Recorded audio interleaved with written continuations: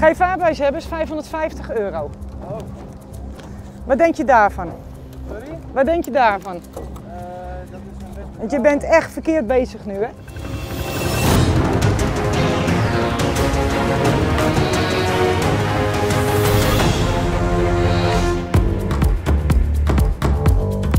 Door alle coronamaatregelen gingen de plezierbootjes deze lente als warme broodjes over de toonbank.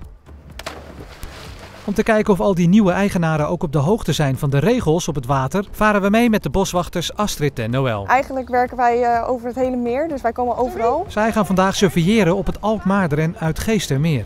We hebben hier eh, op het meer eh, wat overlast van eh, waterplanten. Kijk, ja, zie je ze? Hier, hier zie je ze. Ze komen bijna boven het water uit hier. Het is echt een probleem voor de scheepvaart, want het gaat in een roer zitten. Het is net een soort spaghetti. Eh, de surfers hebben er last van, de zeilboten hebben er last van, de motorboten hebben er last van. De oorzaak van eh, de groei van de waterplanten is dat de waterkwaliteit hier steeds beter wordt. Een klein deel van het meer geldt als snelvaargebied. Hier hoef je je niet aan de maximumsnelheid van 16 km per uur te houden, maar mag je, plat gezegd, zo hard als je kan. Mits je een ontheffing hebt om in dit gebied ook te mogen varen. En daar gaat het nog wel eens mis. Goedemiddag, wil je even langs zij komen? Deze mensen hadden geen eh, ontheffing. Zag je door het eh, snelvaargebied gaan? Ben je in bezit van een snelvaarontheffing? Hey, eh, tussen de, gooie, of, de gele boeien, hier is een snelvaargebied. Dus alleen met snelvaarontheffing mag je daar komen. Oh, oké. Oh, dat wist ik niet. Ja, het jonge gezin had net een nieuwe boot, dus we waren alles aan het uitproberen. Het is echt wel de ontwetendheid. Waar mag ik varen? Waar mag ik heen? Ik ga even het gegevens noteren. Dat ik je gesproken heb, dat ik uitgelegd heb eh, dat je hier met het snelvaargebied zit, alleen met een ontheffing. Laten we dit keer even bij een waarschuwing. Je bereikt veel meer om de regels uit te leggen en ze verder een goede dag te wensen. Bedankt voor je medewerking. Buiten de gele bollen. Omdat de schipper met zijn actie slechts een lichte overtreding begaat door illegaal in het snelvaartgebied te varen, besluiten Astrid en Noël het bij een waarschuwing te houden. Wij willen daar alleen de snelvaarders hebben met eh, de, de ontheffing erbij. En voor de rest geen eh, motorboten, zeilboten of surfers. Je hebt ook geen ontheffing, dat kan ik je nu alvast voor een briefje geven. Maar niet veel later zien de handhavers toch een surfer in het snelvaargebied, die met een touw achter een boot hangt. En dat is slechts één van de overtredingen die deze heren begaan. Maar doe het wel op de goede plek. En dat was gewoon eigenlijk heel gevaarlijk. Die jongens die hadden geen flauw idee van waar ze eigenlijk mee bezig waren. Middag mannen. Hey, je bent hier bezig in een snelvaargebied. Heb je Ja. daar een eh, vergunning of een ontheffing voor? Nee, sorry, die hebben we daar niet voor. Dat is één, oké. Dat is niet de bedoeling. Mogen we dan ook niet met een, eh, helemaal niet?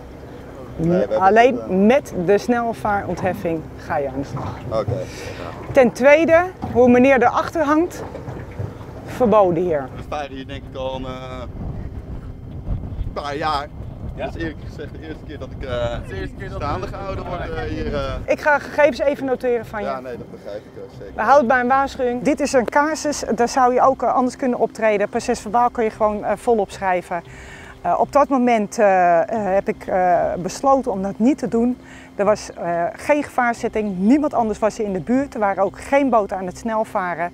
Dan kies ik liever voor om het uit te leggen en de regels eh, te vertellen dan eh, om iemand eh, een procesverbaal te overhandigen. Volgende keer echt waar. Ja, nee, En dan is het echt ook het vaarbewijs en die snelheid Ja, nee. en, dat, en dat surfbord erachter. nee, dat, dat, Geen registratienummer, we zitten bijna op de 1000 euro nu. Dank je. Kijk uit voor je touw! Wil je even uitkijken voor je touw? Andere kant. Andere kant. Hoewel deze jongens hun zaakjes duidelijk niet op orde hebben, worden ze flink gematst door Astrid en Noël, die het bij een waarschuwing houden. Nu was het echt gewoon duidelijk maken van waar die jongens mee bezig waren. Dat ze echt wel voorzichtig moeten zijn. Wat minder geluk heeft de volgende schipper. Hij vaart te hard in een gebied waar ook veel zwemmers zitten. Even de snelheid in de gaten houden. Hoe je aankwam.